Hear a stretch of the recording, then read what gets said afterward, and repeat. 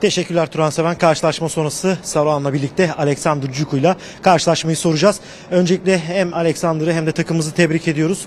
Ee, evimizde ama zor bir karşılaşmaydı. Galibiyetle ayrılmayı bildik. Tecrübemizle, isteğimizle, motivasyonumuzla Alexander'ı ilk olarak karşılaşmayı nasıl değerlendirir? Euh, tout d'abord, tout d'abord, félicitations pour la victoire, à toi aussi pour l'équipe. C'était un match trop difficile, mais on est parvenu à gagner le match. On a montré notre motivation, notre puissance et notre ambition aujourd'hui sur le terrain. Qu'est-ce que tu veux par rapport au match? Ouais, c'est vrai qu'aujourd'hui c'était un match très difficile, mais on n'a rien lâché jusqu'à la fin. Grâce au public également, on a réussi à arracher cette victoire qui va nous faire du bien pour la suite. Je pense qu'en première période, on a manqué un peu de mobilité. On n'arrivait pas à produire notre jeu. On mettait beaucoup de longs ballons. Donc il va falloir qu'on travaille là-dessus aux entraînements.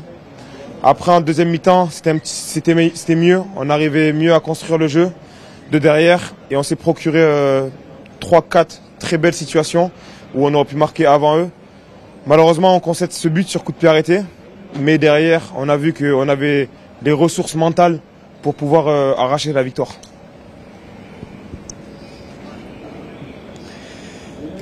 Açıkçası bugün gerçekten zorlu bir maçtı. Bunu rahatlıkla ifade edebilirim. Bizim açımızdan zorlu bir maçtı. Ama bana göre sonuna kadar mücadele ettiğimizi düşünüyorum. Sonuna kadar savaşımızı verdiğimizi düşünüyorum ve taraftarlarımıza da bir parantez açmak gerekirse onların da sayesinde açıkçası bugün maçı kazandığımızı düşünüyorum. Çünkü maçın başından sonuna kadar bizlere yardım ettiler. Bizleri çok iyi bir şekilde desteklediler. İlk yarı özelinde konuşacak olursak hareketlilik anlamında birazcık daha eksiydik.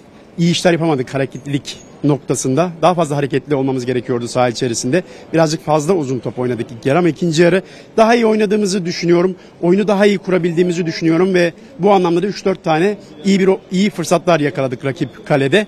Maalesef yemiş olduğumuz bir gol vardı. O golü yememeliydik. Duran toptan dolayı bir gol yedik. Ee, ama mentalitemizi gösterdik. Güçlü, dirençli bir mentalite gösterdik bugün. Ve netice itibariyle de 3 puanı kazanmasını bildik. Kalemizde gol gördüğümüzden sonra e, hemen kameralar Ciku'yu gösterdi. Mentalite dedi, devam edin dedi. Gerçekten de bu en önemli reaksiyonlardan bir tanesiydi. E, zaten bu anlamda en önemli isimlerden bir tanesi bu vazgeçmemeyen isimlerden bir tanesi Ciku. Neler söyler bu anlamda Alexander Ciku?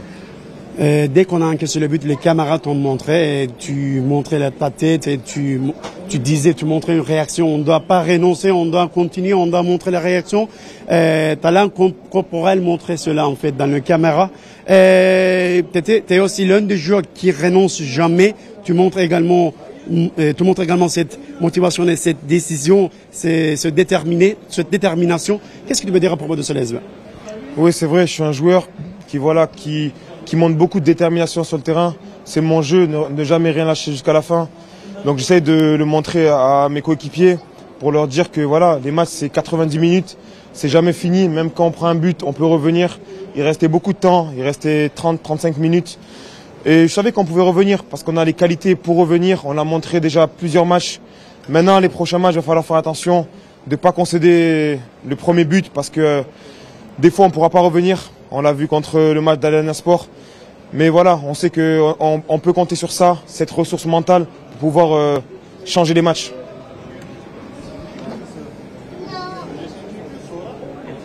Ben kendi adıma gerçekten kararlı bir e, oyuncu. Futbolu bu şekilde oynayan bir oyuncu ve sonuna kadar mücadelemden asla vazgeçmeyen bir oyuncu ve o dakikada gol yediğimizde takım arkadaşlarım aslında şunu söylemek istedim. Şunları söyledim. Maç 90 dakika henüz hiçbir şey bitmiş değil. E, maçı geri döndürebiliriz. Mücadele etmemiz gerekiyor. E, zaten maçı döndüre, döndürebileceğimizi ben düşünüyordum. Çünkü bu kaliteye sahibiz ve daha önce de bunları açıkçası gösterdiğimizi düşünüyorum daha önceki maçlarda da.